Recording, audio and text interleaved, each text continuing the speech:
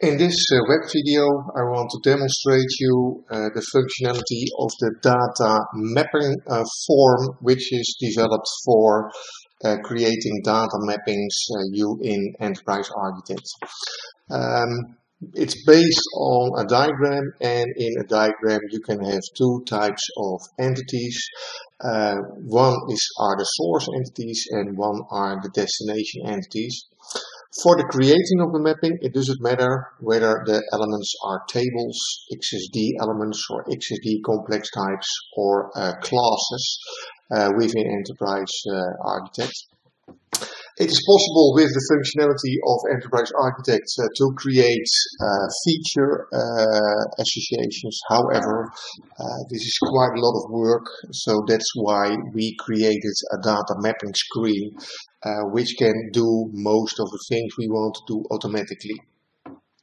I'm going to specialize and I activate the diagram helper and here you have the data mapping screen and what I can do is I can say well I want to add a number of elements uh, to the source side and I want to add some elements to the target side.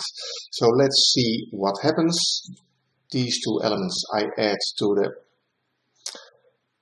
uh, source side and these elements I add to the target site and what you see now is that there is a grid loaded with all of the elements. I can then select all the elements I want to generate, but what's maybe even uh, handsome, more handy is that I can say, well, match these elements by name. And what you see here is that all the elements are uh, created based on the name. This is something uh, which can uh, reduce, uh, especially when there are a lot of names the same, can reduce the selecting of the uh, right columns or the right elements uh, very uh, rapidly. What I can do now is I can say, well, I want to generate the mappings. And what you will see, what will happen is that here all the associations are created based on the elements I selected. I can close this window and what I can do now is I can reopen it and I can do the same thing again. I can do this to the source and these to the targets. And what I can do now is I can say, well, the mappings which are already available, I can um, load them and what it will do is that it will fill all the elements and I will disable these elements.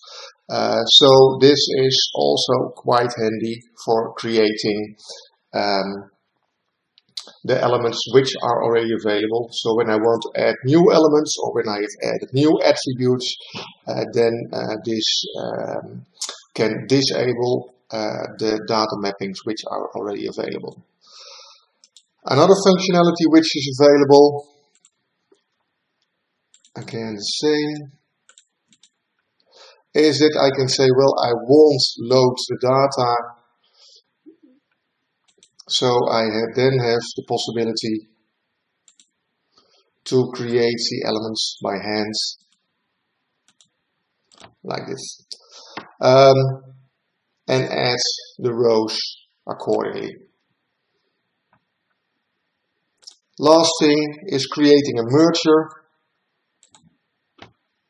Again, go to the diagram helper. I want to map to the target because I want to create a merger and I want to add the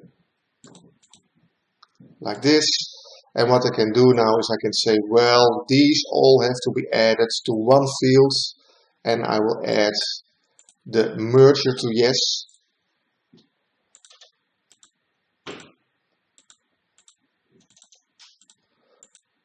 and what you will see now is that I will create a merger uh, entity between the elements. And it's all based on uh, the elements I selected. And here when I want I can add for example a constraint uh, to say how these elements are combined to create the merger. Splitter is also available, works the same way although uh, as I've shown for the merger only in the other direction. So this is basically the functionality available within the data merger screen and you can imagine that it will reduce you a lot of work when you have to work a lot with data mappings in your models.